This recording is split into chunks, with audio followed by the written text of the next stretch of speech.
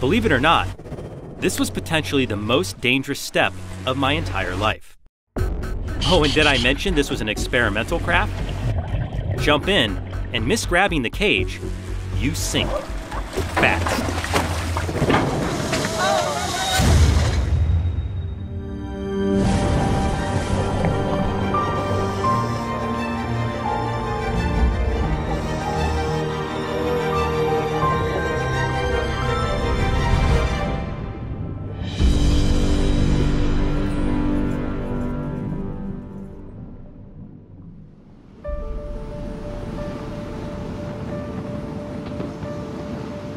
Welcome back to Guadalupe, Mexico, the site of our very first great white shark encounters. Aboard the Socorro Vortex, we traveled over 175 miles to this prehistoric island in hopes of getting up close with the world's largest predatory shark. Here we go! And as millions of you witnessed, that's exactly what we did. But what if I were to tell you that we really didn't come all of this way for an ordinary shark cage adventure? What if I were to tell you the real reason we came this far was to embark on the single most daring mission we've ever attempted? Today, I will take you even closer to the most famous set of jaws on Earth in a one of a kind shark cage submarine. By now, I'm sure everyone watching this video has at least seen images of a great white shark before. But have you ever seen a SPOC? Probably not, because this self propelled ocean cage is highly experimental and can only be piloted by one of two people in the entire world. Now, the sharks will let us get close in this, or Oh, yeah. are they going to get Yeah. close to us? Both. Both. Yeah. Meet Erick Higuera, our pilot for today's mission, and a world renowned marine biologist and ocean photographer. So, no matter what, we're not going to sink. Well, that's on the, that. That would be the That's second not, step. that's not, that's not what I wanted to hear. Erick, I want you to say, yeah, we're not going to sink. You are in charge of monitoring your own air supply system. I won't be able to monitor that. If you run out of air, it's gonna be your fault. You're probably asking yourself, or maybe even yelling at your screen, why are you putting yourself in this situation? Well, what we know of these mysterious creatures has been limited to years of topside observation, cage diving, and the infrequent free dive experiences that only a few have lived to speak of. So, this vehicle truly represents an evolution in our understanding of the world's most famous shark, which is also perhaps the world's most famous animal. All right, so we had our debriefing with Erick on the self-propelled ocean cage, aka SPOC, and I have to say, I am so excited to get out there and in the water in this research vehicle. This is going to be probably one of the most unique experiences you could have with great white sharks in a safe way without free diving. I mean, certainly someday I'd love to have the opportunity to free dive with great white sharks, but this is about as close as you're gonna get here in Guadalupe. And now all we need to do is go get suited up, get our cameras ready, and get out there for some action. As if this activity in of itself wasn't dangerous enough, the technical nature of this dive was also quite daunting. I would need to wear a full face regulator in order to maybe have communication with the pilot. However, underwater comms are notoriously unreliable. I would also be wearing a pony bottle BC in the case of an emergency bailout, in which I would need to rip off my full face reg to use it. Not ideal. Additionally, I would be wearing nearly 30 pounds of weight without fins, and I would sink like a rock one foot outside the confines of the cage. Oh, and did I mention this was an experimental craft? The connections and critical mechanisms were all exposed and at risk of damage from the divers. If I were to kick one accidentally, it could prove catastrophic. Erick is in the SPOC. I'm about to get in the SPOC, and then we're about to go get up close. with Okay, some Erick, giant I'm Okay, here we go, guys. See ya. This was potentially the most dangerous step of the day, and potentially of my entire life. Jump in and miss grabbing the cage, you sink. Fast. This was a one shot deal, a no miss scenario. This wasn't just water, it might as well have been looking off a 50 story skyscraper. This was it. Whew. As soon as I got hold of the bar, I pulled myself into the cage. And what had seemed roomy on the deck had suddenly shrunk, and there was barely any room to move. All right, I'm all set. Ready to go. But what was worse, my headset was silent. The communications had already failed. Erick and I would rely solely on hand signals for the entirety of the dive. In a way, I was now completely on my own. Once settled and breathing normally, I set the cameras and gave Erick the signal to launch. In an instant, we were off. The rush of water pressing against me as we glided below the boat was much more intense than I expected. Great, another obstacle. After adapting to these new sensations, the environment came into view. Clear and brilliant blues to my sides and above, with a dark, ominous floor below. Which wasn't really a floor at all. Instead, literally thousands of feet of water.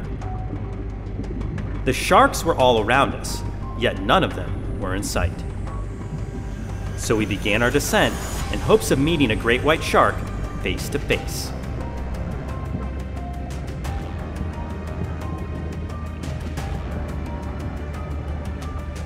Erick zipped the SPOC up and down, checking different depths for shadows and signs of movement. The thermoclines, or temperature layers, were dramatic. Each dive down would zap us with freezing cold water, and the light would retreat right along with it.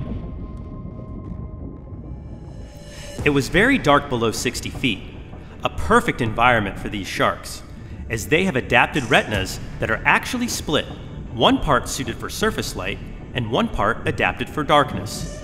And while we certainly require wetsuits to regulate our body temperatures to keep from hypothermia, the sharks are able to regulate their bodies all on their own.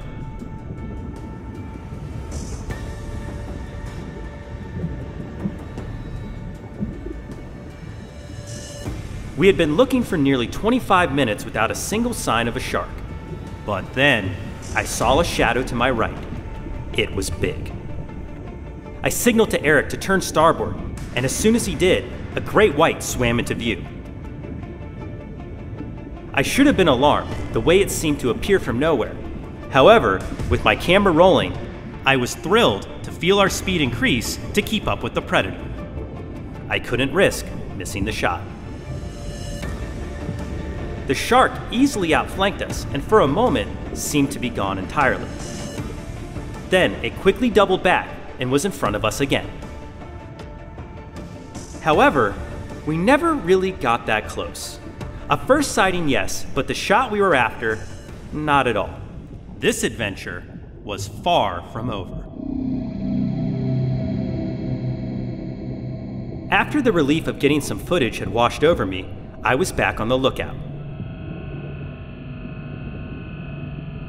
Great whites can grow up to one ton and over 18 feet in length, and swim at speeds in excess of 30 miles an hour. Even with the SPOC to protect us, I couldn't help but feel completely outmatched. But who could blame me? It's not every day you find yourself in the kill zone, a favorite hunting ground of the great white. Again, we dashed around the grounds. Only sardines and other fish came into view. And after 45 minutes, I began to think that was it. That was as close as we were going to get. When then, Erick suddenly turned. He must have seen something I hadn't. I knew we were near the boat, but I wasn't quite sure how close. And then I saw the shark. It was swimming straight for us. All I could do was breathe and keep my camera as steady as possible. This was it. The encounter of a lifetime. Time slowed in that moment, and as the shark moved and swam back around for an even closer look, the fact that I was being observed and calculated by this creature was unmistakable. A real connection between myself and the shark that I've been dreaming to meet had finally happened. As it turned and swam away, a sense of relief came over me. I was ready to be back on the boat, but I wanted to tell everyone the tale of how obvious and beneficial vessels like the SPOC would be for revealing the true nature of this misunderstood species. I certainly would be walking away today with a brand new perspective that I never thought possible. Woo! We got really close to a shark. That was awesome. That was the shot we needed. So much more intense than I thought it was going to be. Just give me a second. I need to like absorb the fact that I'm back on the boat. wow, what an experience. Getting to be in the realm of the great white shark and a shark cage submersible. Are you kidding me? That was the coolest thing I've ever done. The water viz got pretty bad at the end, but we did get to see some great white sharks up close. In fact, that last one I thought was gonna hit the camera. Huge thank you to the Socorro Vortex and all the crew that helped us out today. A special thanks to Erick for captaining the SPOC and keeping me safe so I get those up close shots for everybody at home. I hope you guys love this episode as much as I did. Make sure to subscribe and hit the notification bell so you don't miss a second of the action ahead on Blue Wilderness. I'm Mark Vins. Be brave. Stay wild. We'll see you on the next dive. All right, I'm gonna go warm up and dry off. As the boat departed back from the mainland, I couldn't help but be grateful for all that took place these last few days in Guadalupe. I knew I would be back. When? I don't really know. For another round in the SPOC? Probably not. I won't lie, that was pretty crazy. Sorry, Mom. If you thought this adventure was crazy, go back and watch us in the surface cage to learn more about these world famous predators and why they call Guadalupe home. The place we are at right now is known as the Kill Zone, and as you can imagine, the great white shark's favorite buffet. But our goal isn't to see seals getting eaten while we're out here. Our goal is to get under the water in the realm of the great white shark so we can get the cameras up close and personal with one of the world's top marine predators.